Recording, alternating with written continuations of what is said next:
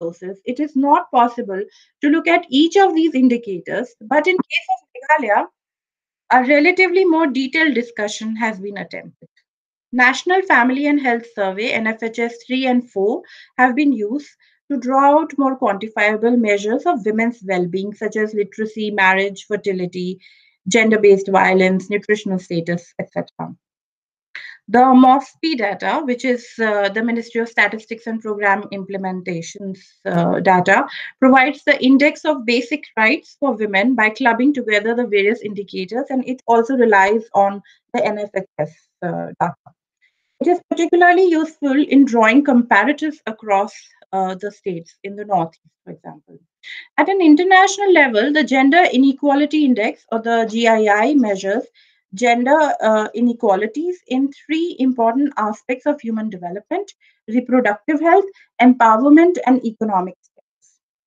Social, inter, uh, social institutions and gender ind- index is a cross-country measure of discrimination against women in social institutions built on dimensions of discriminations in the family restricted physical integrity uh, financial resources taking into account the civil liberties of women and uh, finally, the uh, Gender Social Norms Index measures how social beliefs obstruct gender equality in areas like politics, work, and education.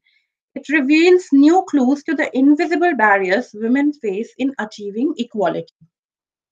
Now we look at certain specific indicators on the status of women in India as a whole, as this would help us to build a context for Northeast. The percentage of literate women grew from 55 to 68% in 10 years. Economic empowerment indicators, such as the percentage of women independently using uh, a bank or a savings account, also grew from 15 to 53% for the same time period. Specific state policies and interventions have also been introduced to promote gender equality. Beti Bachao, Beti Padhao, the Integrated Child Development Services, Janani Suraksha Yojana, Pradhan Mantri Ujjwala Yojana are some of the examples of these policy interventions. However, once we start to look away from these basic uh, progress indices to more enhanced ones, we find gaps, wide and stark gaps. So the two slides here, this one, first one, the, here they show us the performance performance of India as per the international rankings and uh, status. So both uh, this GII, Gender Inequality Index, and the SIGI CGI rankings for India reflect some patterns. And I would uh, quote here, quotes begin, women make greater and faster progress where their individual empowerment or social power is lower. That is only the basic capabilities are there. But they face a glass ceiling where they have greater responsibility, political leadership, and social payoffs in market, social life, and politics, which are the enhanced uh, capabilities quotes closed. The most stark example of this is found in the political representation of women. In the next few slides, we shall discuss this. In a country that takes pride in being the world's largest democracy, presence and performance of its women in countries' political spaces is perhaps the first tool one can adopt to ascertain the most quantifiable and tangible indicator of the status of the women in the society. The traditional societies of Northeast India are essentially patriarchal, and its women have generally not been able to have political power in local, state, or center politics. This is also due, at least in part, to some legal provisions. So, customary laws are protected in Meghalaya under the sixth schedule, in Nagaland uh, 371A and Mizoram 371G, meaning that not all acts of Indian Parliament directly apply to these areas unless the state assemblies adopt them with a two-thirds majority. Now, uh, the 73rd and the 74th Amendment Acts of the Indian Parliament, that is the Panchayati Raj institutions, which guarantee reservations for women, therefore did not come into force directly in these states. Mizoram and Nagaland have adopted these provisions for urban municipal councils. However, except for Mizoram, it has not been actualized at an entry level for women in local politics. Meghalaya state legislature has not adopted these amendments. So uh, the representation of women in decision-making bodies in Northeast remains very marginal, beginning from the local level itself. Now let's look at the highest legislative body. So the 17th Lok Sabha saw the highest number of women parliamentarians. It's not very high, but out of uh, 78 women parliamentarians, only three women MPs represent the entire Northeast.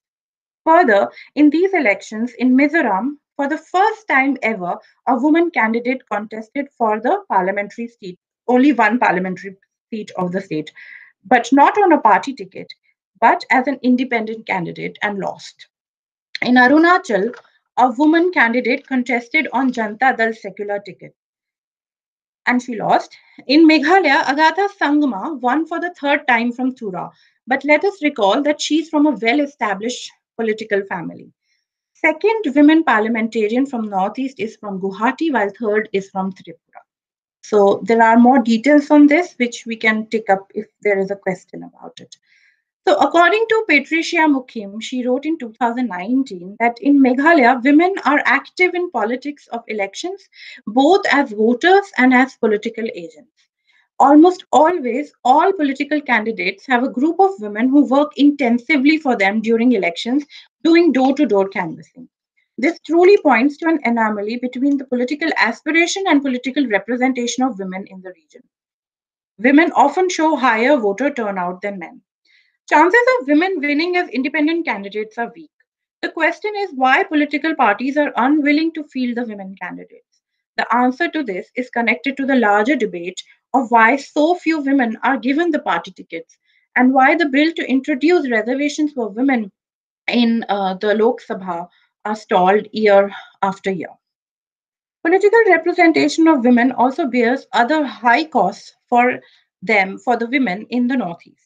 Existing social taboos and stigmas associated with women who participate in political or public affairs are rampant. For example, amongst the Khasis, it is considered a sign of social degeneration. Similes such as when the hen crows, the world is nearing its end, or the winner in the family is a loser in the council, reflect these limitations adequately. The GSNI report says, and I quote, a social norm will be stickiest when individuals have the most to gain from complying with it and most to lose from challenging. Quotes close.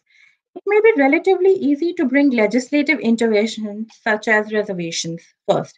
However, the policies have to be informed of the non tangible social norms and practices related to social change and gender inequality. For example, in 2017, highly patriarchal Nagaland was swept with mass protests and violence when women insisted on contesting for elections to the urban municipalities because they had been guaranteed these 33% reservations in the urban councils. So uh, let us now try to break the level and type of political participation for women in Northeast. When we look at the gender turnout, we see that for Meghalaya, women have equal or even higher voting rates than men. And it has been steadily increasing since uh, 1993 when it had a little downfall. But since 2003, the voter turnout of women has been higher than the men in state assembly elections. However, the parity at entry level political participation, where the power is diffuse, ends here. The women in Meghalaya are not politically empowered beyond this, as we see in the coming slides. In northeastern region, 70% of women say that they have interest in local elections. In Meghalaya, it is a very at a very high 86%, and in Mizoram, it's at 92%. So women's political membership to any political party is lowest in Meghalaya for the entire region at a 2%. when we compare it to the average 16% of Northeast, and Sikkim is at high 60%. So if we see how many women have contested any political election, Meghalaya again has the lowest number, while Arunachal has the highest. In Meghalaya, when women were asked if they wished to contest political election, only one person gave a reply in affirmative, which is again the lowest for the entire Northeast, and Sikkim has the highest uh, figure in this. If we break down this political participation even further, we find that women in Northeast do not have many chances of even direct access to the elected representatives. This is also connected to various other factors, including the levels of autonomy for women in, within their communities, but also within their households. So we shall come to this factor of autonomy subsequently. Quickly moving on to the next slide. This slide helps one to find what Krishna has called opening up the community a bit further. Gaps in gender empowerment are also reflected at the level of local organizations and associations. In this chart, we find that nuances of membership of women to local non political organizations, we find that Nagaland uh, has the highest participation rate for women across the Northeast, for women holding office positions. However, it is interesting to recall that this same very state went into mass protests and violence in 2017 against the women contestants for urban municipal councils. So, this is a strong indicator of how power is diffused at higher levels where actual decision making power is beginning to take shape for women. We know from our previous slide that this one, we know that um, women in Manipur are far less allowed to attend the village councils than their counterparts in Assam.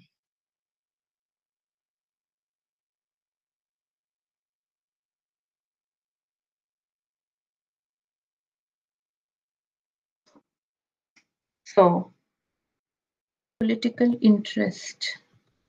Okay. Interestingly, if we uh, interestingly, if we compare the states of Assam and Manipur, we find that the difference between numbers of women interested in local elections is not wide, nor is there much difference between their memberships to local parties. But the number of women allowed to attend local meetings is almost half for Manipur than Assam. Clearly, there are some other factors at work here.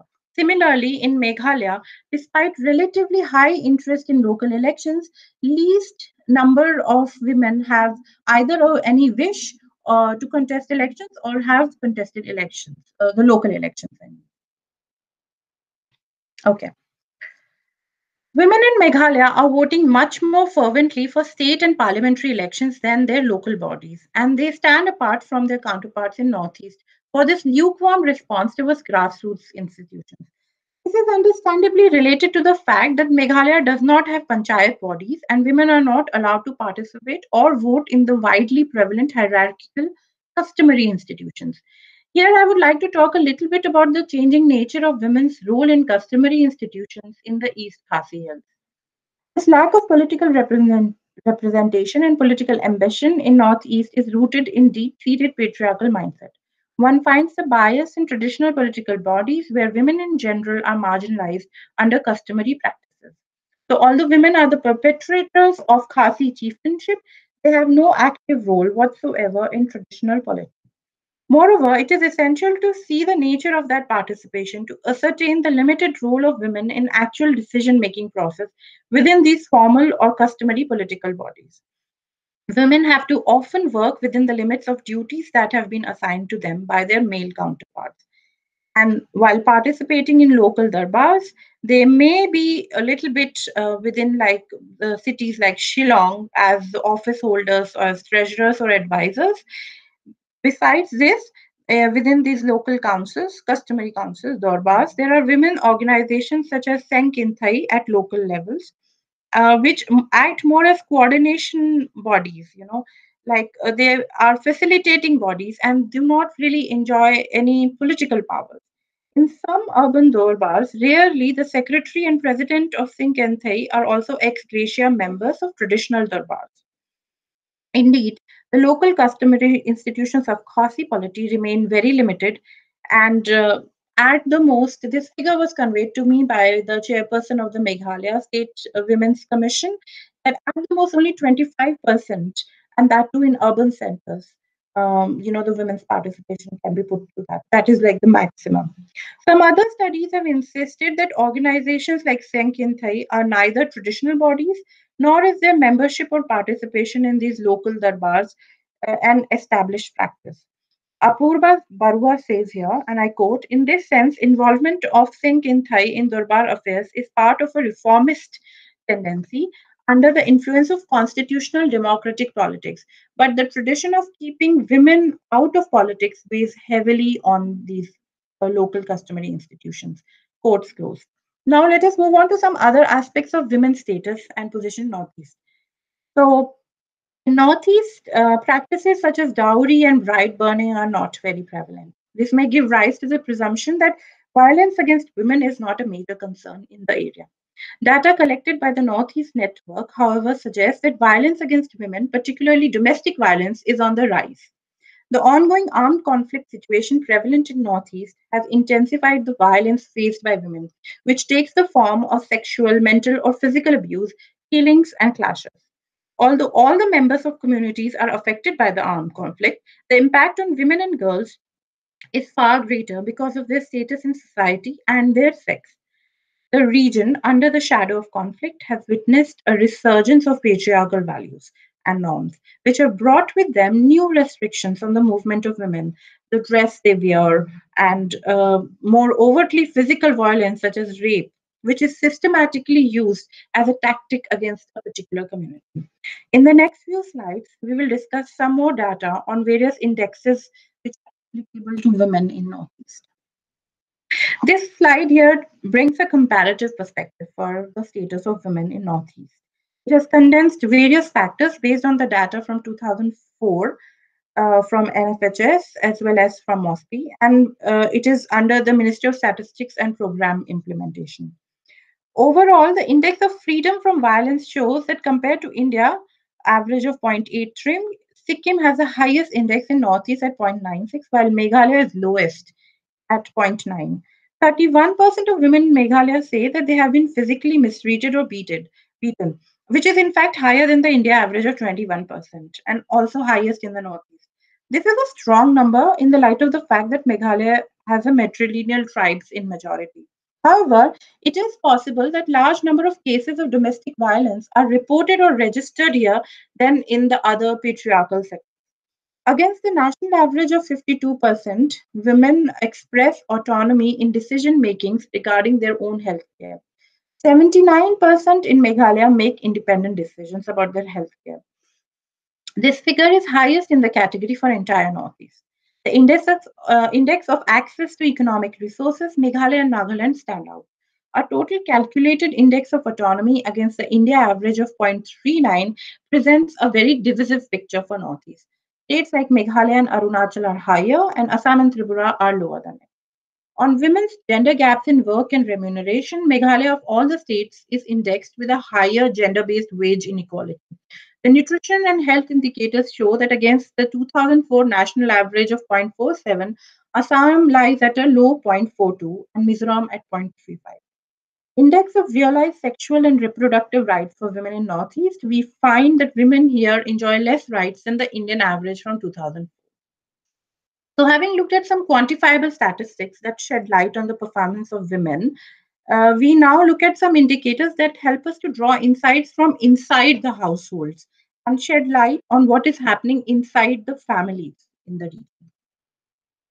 In this slide, we look at data from 2016 on other social indicators like the position of women in family decision making. Across Northeast, Meghalaya has the highest percentage of women in the role of followers of family decisions. Sikkim and Tripura are at high rates in their perceived role as decision makers in family decisions. And almost uh, 60% of women in this uh, region see themselves as followers of family decision making process. Again, some more nuances of this independence mentioned in this previous slide. We find here that 0.6% of women from Meghalaya and Assam feel themselves to be independent in marriage. Dr. Kavita, if you can hear me, you have five yes. more minutes to conclude your presentation, please. Okay, sir. I would take a little bit more than five, but I can skip through these. Uh, so I can. No, maybe, I maybe would, instead of five, it could be six, but uh, try to conclude in that. Okay, I'll try. Thank you so much. So, uh, independence in decision making in uh, property matters uh, is what is really closely related to my uh, project. Uh, this helps us to demystify the gender empowerment myth in Northeast, especially amongst the matrilineal people of Meghalaya. Although women are custodians and owners of ancestral lands and property, they are not independent in deciding on matters related to property. And I've talked more about this in my previous presentation at NMML, which is available on YouTube. So uh, very quickly, I'm going to run through uh, some very specific indicators for Meghalaya. So uh, according to the 2011 census, the Indian average sex ratio stands at 943, while Meghalaya is at a very high 997, which has still uh, been the same at 2020, but it's a negative indicator nonetheless. A more detailed look into the sex ratio differences within the state shows important roles played by factors other than matrilineal the rural urban divide, the differences in other uh, significant socio-economic indicators point towards what can be some of the reasons behind these intra-regional variations. For example, Ri district of Meghalaya has the lowest sex ratio in the entire state of Meghalaya. And the urban sex ratio here has seen a sharp decline. However, the urban sector uh, in Ri has seen the increase in the density of population by a hopping to 62 points. So there are like these intra-regional variations which have their own context their own reasons which i think the policy needs to be aware of whenever we are trying to support the cause of gender equality and gender empowerment. Similarly we see that nfhs data establish growing tendencies towards the gaps between rural and urban populations in meghalaya gaps between the literacy rates between the urban and the rural women. So, uh, women also do not experience independence and autonomy in other important matters of their uh, lives, as we saw in the previous slides. Like they're not free to uh, decide on matters relating to their marriage, for instance. It is necessary, and I quote here from uh, Human Development Report of Meghalaya from 2008. It is uh, to, noteworthy to observe that women are not able to penetrate or carve a place in the traditional political setup of Hima, Doloiship, or Nokmaship. Thus, we find that depending on the indicators used, it is important that nuances of autonomy and gender empowerment are explored to ascertain the rights of women in Meghalaya, because they can be often camouflaged under, uh, you know, um, the community practices, uh, and uh, the women are most vulnerable to get marginalized if any challenge comes from that. And finally, we once we start to look at the more enhanced indices of progress and empowerment for women, wide and stark gaps are visible in the status of women. GSNI talks about these gender based biases and shows that uh, in a phase of 10 years, a number of people with biases has been growing in India. It shows a trend that is affecting women more than the men of India. It would be thus interesting to find out what makes women grow more biased against women over these last 10 years sad part is that these biases are getting stronger despite the policy measures and legislative efforts towards gender equality. We have seen these trends in women's political participation and representation. The situation, at last, I would like to say that situation is in tandem with numbers across the world. And I quote this UNDP report from 2020 when more concentrated political power is at stake, women appear severely underrepresented. The higher the power and responsibility, wider the gender gap. And for heads of state and government, it's almost 90%. So then, uh, as economic power also increases from employee to employer and from employer to top entertainer or billionaire, the gender gap widens. Quotes close. Perhaps the most striking fact that emerges from this data is that the share of men and women who had no gender bias against women fell from 2005 to 2015. In this sense, gender norms have become wider and harder in these last 10 years. This shows how gender inequality translates into other areas of human development and threatens the progress. Since India is a signatory to the 2030 Agenda for Sustainable Development, and this year, 2020, marks the 25th anniversary of the Beijing Declaration, to which India is a signatory, it is crucial that investing into women's equality and lifting both their living standards and their empowerment are central to the national goals. Thank you. Thank you very much, Kavita. We are now open to questions and comments from all the participants.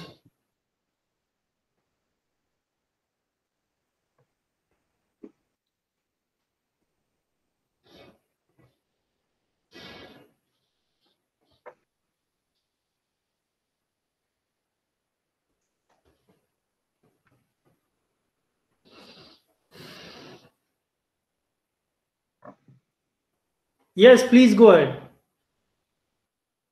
Dr. Janki, please Thank go you. ahead. Thank you, Kavita, for your presentation. I was wondering if you could tell us um, a little more about this data that you've presented on um, women's independence in decision making in in property matters and your your your slides seem to show that actually they had very little independence i was wondering where this data is from and how women's independence in is being gleaned in these figures.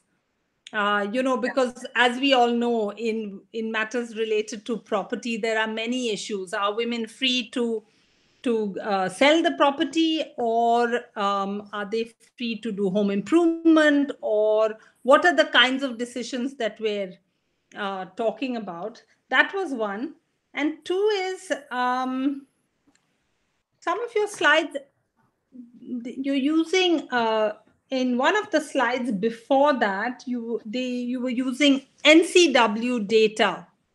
And i was Yeah. wondering yeah and i was wondering what is the source of their data? Meaning are they presenting um, uh, you know when they present their statistics uh, what is the source of their data? Because i doubt if they are collecting uh, this data Yeah, thank you, Janki. Mm, so, um, should I answer this or you want to collect some more questions? Um, Go ahead, go ahead, answer it. Okay, so uh, let me start from the second question. Uh, the data is there from their own field work, and uh, they seem to have done extensive, um, um, but of course, these are controlled samples, so we cannot compare it to NFHS level data. Right? Yeah. Um, and uh, uh, so, um, well, your first question was more about property matters, and that brings me back to my core of my study. Uh, really, like I can talk about the East Khasi Hills more in details about this. So we know uh, that uh, women are, uh, you know, not owners in that sense, they're custodians, and uh, there are there is an intersectionality at work here. So we cannot really say that only men are taking decisions. It's the family which is deciding, but within the family, of course, uh, it's the uncles, you know, the maternal uncle, the eldest uncle, or the eldest siblings would definitely have a more decisive voice in deciding because it is, after all, the youngest daughter, the Khadduh, amongst uh, the Khasi who inherits. So, um, uh, and from uh, through my own field work, probably you would recall I talked about uh, incidents from urban uh, center uh, that uh, a woman, uh, after all, decided to sell her ancestral property because legally it's in her name, right? So there is this clash between the legal technicalities and customary practices. But it was perceived to be a wrong decision by her close family, her friends in the larger circles. And they said, like, she really has given up on family in this sense. And if she is in trouble, nobody is going to, you know, stand by her or help her out. Um, at the same time, uh, I have also heard of instances uh, through my field work where uh, women did not inherit despite being a Khadduh and despite the family being uh, landed because the mother decided to sell the property and invest into the daughter's education, for instance, to make her more capable. So I, uh, to you know, to get a job for herself, and you know, uh, so I see that the, the things are moving, and that's why I look at the changing nature of land rights. That how um, there is a there is a modern state parameter there is modern economy there are development factors which are at work. Maybe uh, a woman does not want to inherit out of choice because it restricts her social mobility. She has to stay in the place to uh, you know uh, to um, to get those rights. So if she's away she needs to have a family which is looking after it. But if she marries a non-tribal and then she could lose her right and that's like a really hotly contested debate. So it is not as simple as that and i'm sure it's not as uh, simple in all other states as well. But of course to answer your query i can tell more from east khasi hills rather than give a more general idea about what's happening in other northeast states.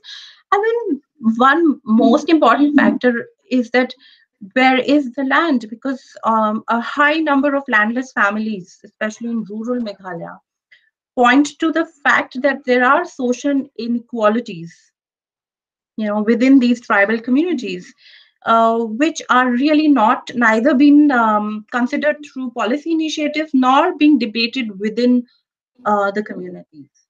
Uh, there is privatization of lands. So, so not all women are equal. They have their own, uh, you know, caste and urban, rural literacy. So all the factors are there which affect their rights in that way. How much they want to assert those rights, if they have those rights. So suppose a woman is highly literate and she's really highly positioned. So I guess her weightage of her decision on property matters within the family would be higher compared uh, to any other woman. So I guess there are various nuances it. So you are right, Janaki. But uh, I hope I've been able to answer it somewhat because uh, that's not really the focus uh, of this presentation today. Thank you very I'm- much. Any other question? All right. I think with this we come uh, to an end of uh, today's lecture on this subject. I thank uh, Kavita and I thank uh, all other participants who have joined us this afternoon. Thank you, sir. Bye. Thank you, everybody, for joining in. Okay, bye bye.